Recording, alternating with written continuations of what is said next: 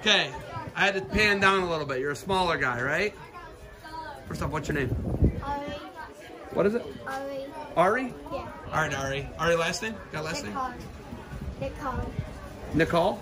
Nicole? Nicole. Okay. So, what was your favorite thing about playing in the OAC football championships today? It was fun. I had good experience and I learned a lot. And I had a good time. You had a good time? How old are you? Eight. You're eight? So you're a young whippersnapper. Everybody else is older than you, right? Do you like playing up? Yeah. All right. Favorite thing about playing up, what is it?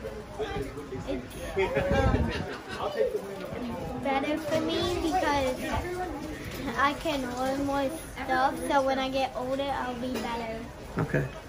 All right. Did you, uh, you got to travel here with friends?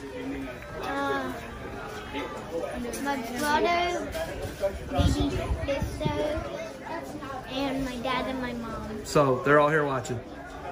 Are you having fun? Yes. Even though you guys lost the game, was it still fun? Yes. All right. What's next for you? Do you do anything in the off season? Yeah. What? We saw a three pound ball. You do what? We saw a three pound ball. Football. Okay. We work out so we're ready for the next season. All right.